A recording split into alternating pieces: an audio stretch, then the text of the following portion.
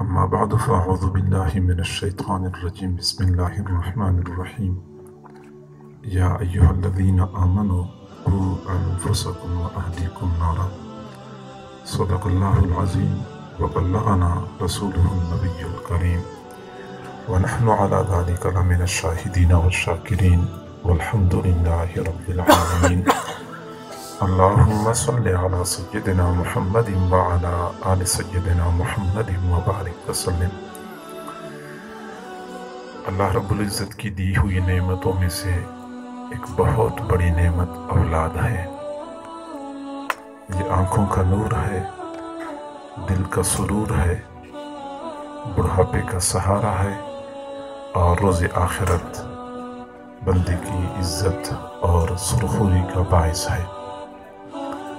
اللہ رب العزت کی یہ عادت مبارکہ ہے کہ جب کسی بندے کو کوئی نعمت دیتا ہے تو اس کے تقاضے بھی بتاتا ہے کہ یہ میری دی ہوئی نعمت ہے، اس نعمت کے بارے میں میرے یہ یہ احکام ہیں۔ جس بندے نے ان احکام کو پورا کر لیا، اس نے نعمت کا حق ادا کر لیا۔ جس نے اس نعمت کے بارے میں اللہ رب العزت کے حکموں کو پس پشت ڈال لیا قیامت کے دن اسی نعمت کی وجہ سے اسی بندے کا مواخذہ ہوگا۔ اللہ رب العزت نے قرآن پاک میں ارشاد فرمایا، ثم لتسألن يومئذ پھر تم سے اس دن نعمتوں کے بارے میں پوچھا جائے گا۔ ایک ایک نعمت کے بارے میں سوال کیا جائے گا۔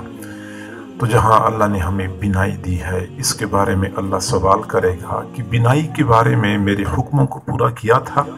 اللہ نے ہمیں گویائی دی ہے، اللہ نے ہمیں صحت دی ہے، اللہ نے ہمیں مال پیسہ دیا ہے، اہل و عیال دیے ہیں، کار کوٹھی دی ہے۔ ان ایک ایک نعمت کے بارے میں اللہ نے ہم سے سوال پوچھنا ہے اور ہم نے سوال کا جواب دینا ہے۔ اس لیے ہمیں اس بارے میں فکر مند ہونے کی ضرورت ہے۔ حضرت عبداللہ بن عمر رضی اللہ تعالیٰ عنہ فرمایا کرتے تھے، ادبو اولادکم فَإِنَّكُمْ مَسْئُولُونَ عَنْهُمْ تم اپنی اولاد کی اچھی تربیت کیا کرو، کیونکہ تم سے قیامت کے دن اولاد کے بارے میں پوچھا جائے گا۔ صحیح بخاری شریف کے روایت ہے اب صلی اللہ علیہ وسلم نے فرمایا، الا کلکم راغن وکلکم مسئول عن رعیتہ۔ تم میں سے ہر بندہ نگہبان ہے اور ہر بندے سے اس کی زیر نگرانی لوگوں کے بارے میں سوال کیا جائے گا۔ گھر کا جو سربراہ ہوتا ہے، اس سے گھر کے سارے افراد کے بارے میں کوششوں کا بڑا قدردان ہے، جو کوششیں اولاد کی تربیت، اولاد کی تعدیب کے حوالے سے کی جاتی ہے۔ اور معزز سمین معزز خواتین، میرے ماں بہنوں، بیٹیوں، آج اگر خدا نخواستہ کسی کی اولاد بگڑ جاتی ہے۔ تو والدین بڑے آرام سے کہہ دیتے ہیں کہ میرا بیٹا تو برا نہیں تھا۔ میرا بیٹا تو ایسا نہیں تھا۔ اس کو تو دوستوں نے برباد کر دیا۔ اس کو تو برے ماحول نے خراب کر دیا۔ اس کو تو انٹرنیٹ نے تباہ و برباد کر دیا۔ والدین یہ تو کبھی کہتے نہیں ہے کہ اس میں ہمارا بھی کوئی قصور ہے۔ وہ تو ہمیں آتا ہے۔ بچہ فطری طور پہ دین کو پسند کرتا ہے، اسلام کے مطابق مزاج ہوتا ہے۔ لیکن آگے کیا ہوتا ہے؟ بچہ بگڑتا کیوں ہے؟ انٹرنیٹ اس کو بگاڑتا ہے، دوست احباب اس کو بگاڑتے ہیں یا ماحول اس کو بگاڑتا ہے؟ میرے محبوب نے فرمایا، فَأَبَوَاهُ والدین اس کو یہودی بنا دیتے ہیں، او یونسرانی ہی والدین اس کو نصرانی بنا دیتے ہیں۔ او یمجسانی ہی والدین اس کو مجوسی بنا دیتے ہیں۔ گویا کہ بچے کے بگاڑ میں اصل کردار والدین کا ہوتا ہے۔ والدین جب اپنا فریضہ پورا نہیں کرتے، تو بچہ بگڑ جاتا ہے۔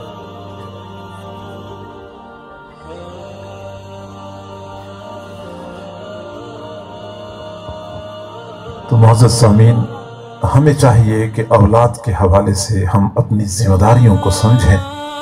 اور ان ذمہ داریوں کو بحسن خوبی سر انجام دیا کریں۔ ایسا نہ ہو کہ یہی اولاد جن کو آج دیکھ دیکھ کے ہم خوش ہوتے ہیں، یہی اولاد قیامت کے دن ہمارے لیے تباہی و بربادی کا باعث بن جائے۔ معزز سامین میں گزارش تو یہ کرتا ہوں کہ اپنی اولاد کی خود تربیت کریں۔ لیکن معذرت کے ساتھ میں عرض کروں کہ ہمیں اولاد کی تربیت کا طریقہ نہیں آتا۔ وجہ یہ ہے کہ خود ہم تر، ہم خود تربیت کے محتاج ہیں۔ ہماری اپنی تربیت نہیں ہوئی، ہم اولاد کی کیا تربیت کریں گے؟ لہٰذا ایسی صورت میں پھر ہمیں چاہیے ہوتا ہے کہ ہم اپنی اولاد کے لیے کوئی اچھی تربیت گاہ تلاش کر لیں، جن کے ہم اپنی اولاد کو ان کے حوالے کر دیں اور ہم مطمئن ہو جائیں، پھر وہاں پہ وہ ان کو پڑھائیں گے بھی، ان کی تربیت بھی کریں گے، تمام تر امور کے وہ ذمہ دار ہوں گے۔ ہم کم از کم قیامت کے دن اللہ سے یہ کہہ سکیں گے کہ اللہ میں تو تربیت نہیں کر سکتا تھا، میں تو اتنا کر سکتا تھا کہ اپنے بچے کو دین ادارے کے حوالے کیا تھا۔ آگے اگر میرا بچہ بگڑ گیا تو پھر میری تو بے بسی تھی۔ ہم اتنا تو کہہ سکیں گے، تو اپنی اولاد کو مدارس میں بھیجا کریں۔ اچھی تربیت کے لیے، اچھی تعلیم کے لیے مدارس کو اولاد اولاد کو مدارس کے خطوط پہ چلائیں۔ اولاد کو مدارس میں تعلیم دلوائیں تاکہ دنیا میں بھی اولاد ہمارے لیے سکون اور اطمینان کا باعث ہو اور آخرت میں بھی ہمارے لیے عزت اور سرخروئی کا ذریعہ ثابت ہو جائے۔ اور میں آپ سے اگلی بات عرض کروں۔ کہ ہم اپنی اولاد کو مدرسے میں کیوں نہیں بھیجتے؟ ہم اسکول میں، کالج میں، یونیورسٹی میں تو اہتمام سے بھیجتے ہیں، مدرسے میں کیوں نہیں بھیجتے؟ اس کے پیچھے ایک غلط نظریہ کار فرما ہے۔ ہم یہ سمجھتے ہیں کہ اگر ہمارا بیٹا حافظ قاری بن گیا، ہمارا بیٹا عالم بن گیا، تو بھوکا مر جائے گا۔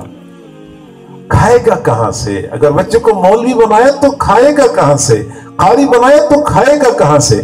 اور مزے کی بات یہ ہے کہ جو لوگ بار بار یہ بات کرتے ہیں کہ بیٹے کو مولوی بناؤ گے تو کھائے گا کہاں سے؟ وہی لوگ کہتے ہیں کہ مولوی بہت کھاتے ہیں۔ مولوی بہت کھاتے ہیں۔ جی ہاں ہم تو کہتے ہیں، الحمدللہ، ہم کھاتے ہیں۔ ہمیں اللہ کھلاتا ہے۔ کیونکہ ہم اللہ کی نوکری کریں، اللہ ہمیں نہ کھلائے، یہ کیسے ہو سکتا ہے؟ اور میں تو بڑے احتماد سے بات کرتا ہوں کہ عام طور پہ لوگ جو کھاتے ہیں بیچارے، چھوٹا گوشت تو ہر کسی کو دستیاب نہیں ہوتا نا۔ کم لوگوں کو ملتا ہے اور وہ بھی ہفتے میں ایک آدھ بار ملتا ہے۔ اور وہ بھی پتہ نہیں ہوتا کہ وہ چھوٹا ہے یا بڑا ہے یا درمیانہ ہے۔ اور یہ بھی پتہ نہیں ہوتا کہ وہ حلال ہے اور مردار ہے، بیمار تھا صحت مند تھا، بکرا کیسے تھا۔ ہمارے پاس تو الحمدللہ بکرا آتا ہے، جب مدرسے کے اندر داخل ہوتا ہے، وہ ایک آواز نکالتا ہے۔ تو کھڑکی میں سے جھانک کے دیکھ رہے ہوتے ہیں کہ ماشاءاللہ پھر ہمارے لیے اللہ نے انتظام کیا ہوا ہے صحت مند ٹھیک ٹھاک بکرے خود زوا کر رہے ہوتے، خود کھا رہے ہوتے، کسی قسم کا شک اور شبہ نہیں ہوتا۔ میرے بھائی، جب ہم ہماری اپنی جو حکومت ہے، ہم اس کی نوکری کرتے ہیں ہم بڑے مطمئن ہوتے ہیں کہ مجھے مہینے کی پہلی تاریخ کو بیس تیس ہزار مل جائیں گے۔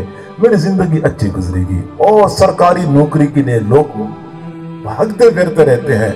پوری کوشش کرتے ہیں کوئی پکی نوکری مل جائے، کوئی سرکاری نوکری مل جائے۔ حالانکہ ہماری حکمرانوں بیچاروں کا اپنا یہ حال ہے کہ پوری زندگی بھیک مانگتے رہتے ہیں۔ یہ بیچارے جب ملک کے خزانے میں کچھ ختم ہو جاتا ہے، سب کچھ تو جاتے ہیں، پھر ایک مرتبہ کشکول لے کے مغربی ممالک میں چلے جاتے ہیں۔ کبھی ایک بادشاہ کا دروازہ کٹ کٹاتے ہیں، کبھی اگلی حکومت کا دروازہ کٹ کٹاتے ہیں۔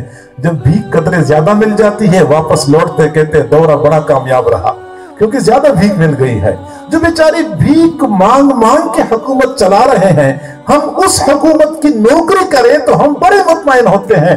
میرا وہ پروردگار جو زمین و آسمان کے خزانوں کا مالک ہے، ہم اس پروردگار کی نوکری کریں، پھر وہ ہمیں بھوکا رکھے۔ یہ کیسے ہو سکتا ہے؟ اس پروردگار نے تو اس نمرود کو بھوکا نہیں رکھا جو خدائی کے دعوی کیا کرتا تھا، اس فرعون کو بھوکا نہیں رکھا جو خدائی کے دعوے کرتا تھا۔ ہم اس پروردگار کے دین کا کام کریں، وہ ہمیں اچھا نہ کھلائے۔ یہ میرے رب کی شان کریمی سے بعید ہے۔ اللہ کھلاتا ہے اور سب سے اچھا کھلاتا ہے۔ سکون اور اطمینان اور باعزت طور پہ کھلاتا ہے۔ کبھی بھی ہمیں پریشان نہیں ہونا چاہیے کہ بیٹے کو مولوی بنائیں گے تو کھائے گا کہاں سے؟ حضرت مولانا اشرف علی خان رحمت اللہ نے ایک عجیب بات لکھی ہے۔ فرماتے ہیں کہ ہندوستان میں پرانے زمانے میں مدارس تو نہیں ہوا کرتے تھے۔ کسی بستی میں ایک مولانا صاحب بیٹھے ہوتے تھے اور مسجد میں نمازیں پڑھاتے تھے اور دور دراز کے علاقوں سے طلباء آتے تھے۔ وہ بچوں کو دین کی تعلیم دیا کرتے تھے۔ تو وہاں بستی والے لوگ اپنے اپنے گھروں سے ایک ایک بندے کا کھانا بھیجا کرتے تھے مسجد میں اور مسجد میں طلباء جو بیٹھے ہوتے تھے وہ اسی کھانے پہ گزارا کرتے تھے۔ کبھی ایسا بھی ہوتا تھا کہ بستی والے کہتے تھے کہ ایک طالب علم کو صبح شام ہمارے گھر بھیجیں، ہماری بیٹک میں وہ کھانا اس کو ملتا رہے گا۔ تو طلباء کو کھانا اس طریقے سے ملا کرتا تھا۔ ایک مسجد میں ایک طالب علم آیا اور اس نے مسجد کے عالم سے کہا کہ میں نے پڑھنا ہے۔ تو عالم نے کہا کہ دیکھیں بیٹا، مجھے پڑھانے سے تو انکار نہیں ہے لیکن ہماری اس بستی میں جتنے گھر ہیں، انہی گھروں کی تعداد کے برابر ہمارے پاس طلباء بھی ہیں۔ اور بستی کے لوگوں میں سے ہر بندہ، ہر گھر والے ایک طالب علم کا کھانا دے سکتے ہیں۔ مزید میں بستی والوں پر طلباء کا بوجھ نہیں ڈال سکتا۔ لہٰذا میں پڑھانے سے معذرت چاہتا ہوں۔ طالب علم نے کہا کہ استاد جی میں نے تو آپ سے پڑھائی کی بات کی، میں نے تو آپ سے کھانے کی بات نہیں کی ہے۔ میں نے کھانا تو آپ سے نہیں مانگا ہے، کھانا تو میرے اللہ نے میرا ذمہ لیا ہوا ہے۔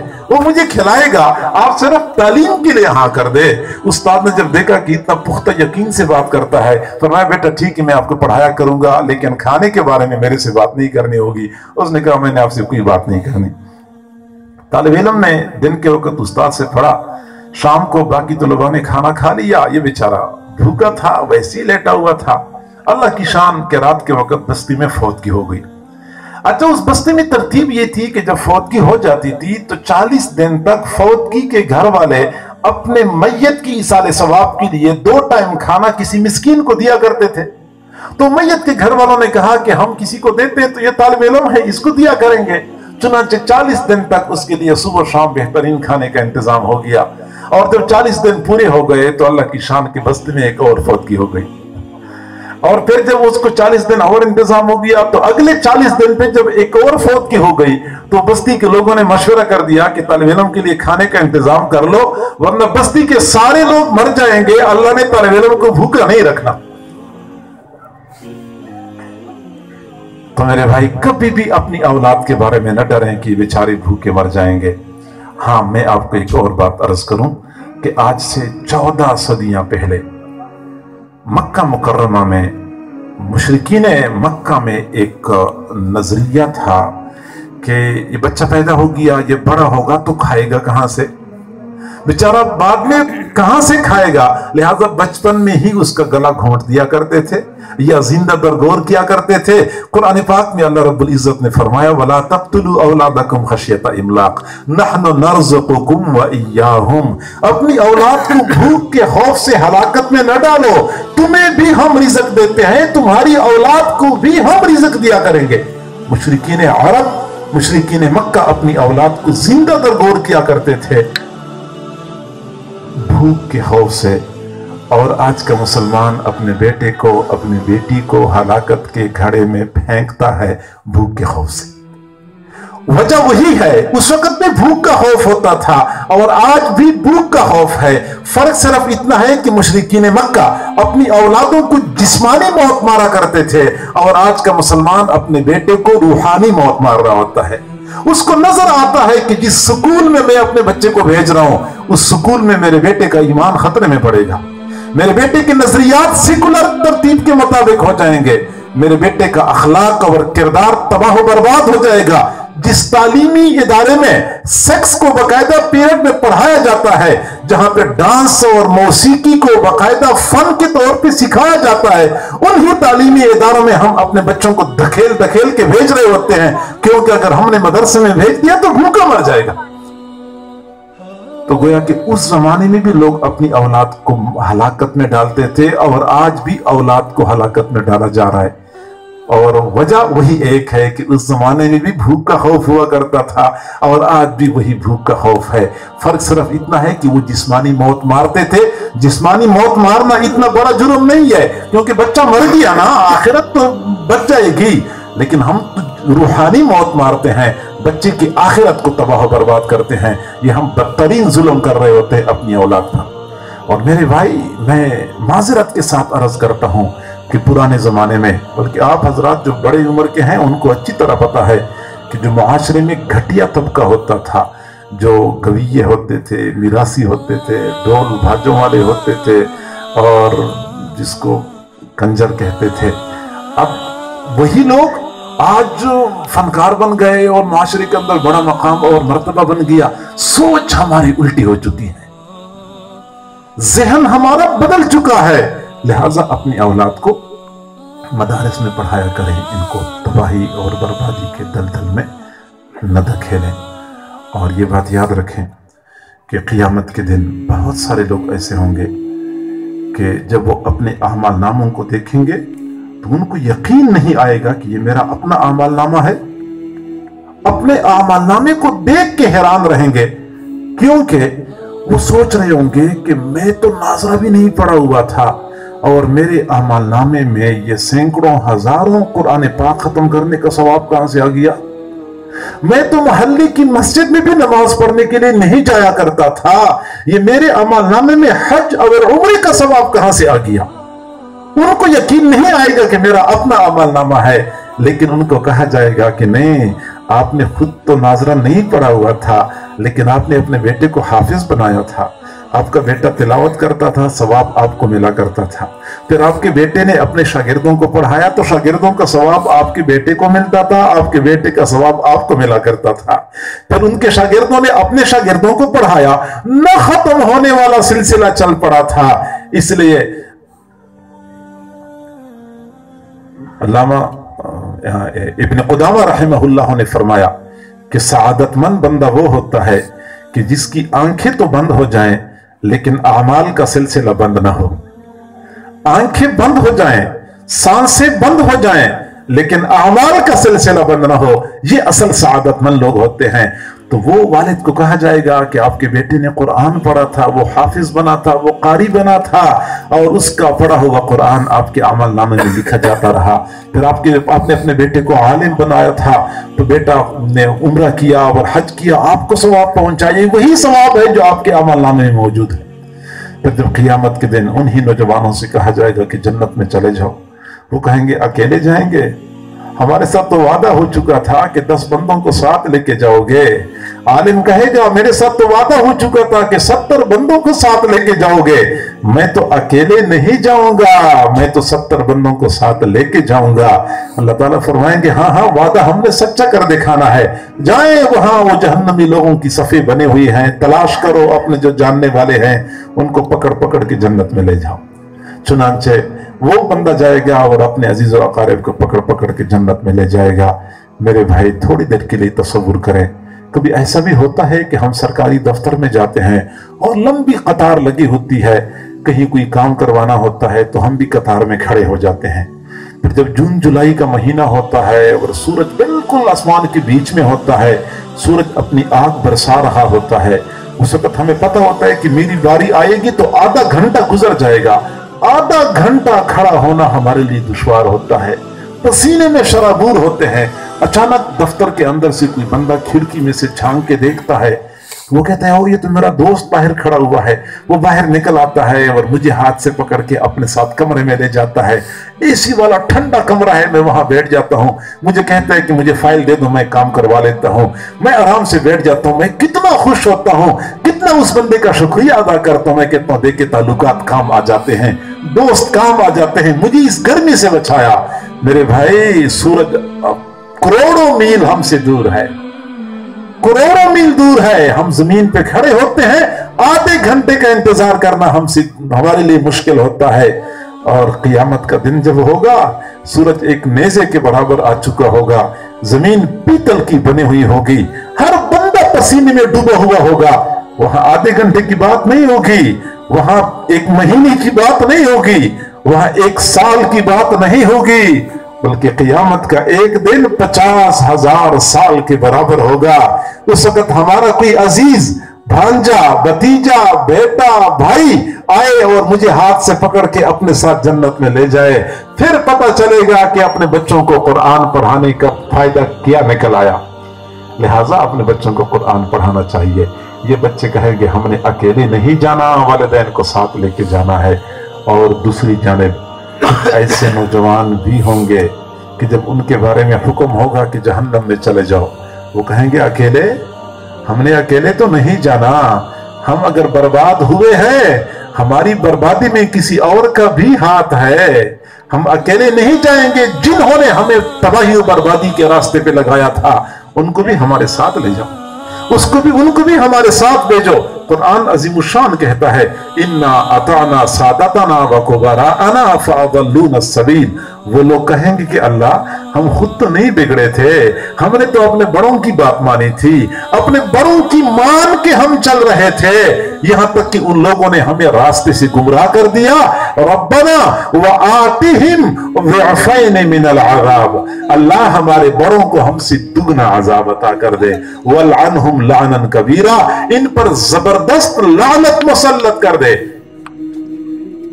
تقابل کر لیں، کچھ موازنہ کریں۔ میں کسی ضعیف حدیث کی بات نہیں کر رہا، میں کسی اللہ والے کا قول نقل نہیں کر رہا، میں قرآن عظیم الشان کی بات کر رہا ہوں۔ ایک طرف تو حفاظ ہوں گے، علماء ہوں گے جو اپنے عزیز و اقارب کو پکڑ پکڑ کے جنت میں لے جائیں گے۔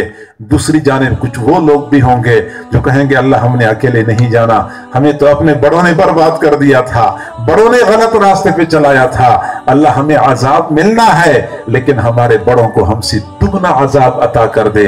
ان پر زبردست لعنت مسلط کر دے۔ پھر یہی اولاد اپنے والدین کی پکڑ، والدین کے مواخذے کا ذریعہ ثابت ہوگی۔ لہٰذا میرے بھائی، یہ میری گزارش ہے۔ میں اگر خواتین تک آواز جا رہی ہے، میں ان سے بھی یہی گزارش کروں گا کہ وہ بھی اپنی اولادوں کو دین کے خطوط پہ تربیت دلوائیں اور دین کی تعلیم دلوائیں، قرآن کی تعلیم دلوائیں، حدیث کی تعلیم دلوائیں۔ بھوکے نہیں مریں گے۔ دنیا میں بھی عزت ملے گی، اولاد ہمارے لیے خوشی کا ذریعہ ہوگی اور آخرت میں بھی یہی اولاد ہمارے لیے درجات کی بلندی کا باعث بنے گی۔ سمجھنے والوں کے لیے تھوڑا بھی کافی ہوتا ہے، نہ سمجھنے والوں کے لیے زیادہ بھی ناکافی ہوتا ہے۔ اللہ تعالی ہمیں سمجھنے اور عمل کرنے کی توفیق عطا فرمائے۔ وآخر دعوانا ان الحمدللہ رب العالمین۔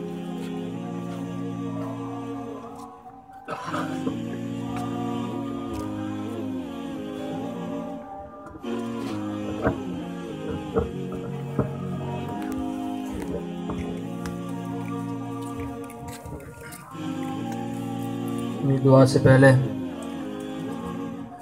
مدرسہ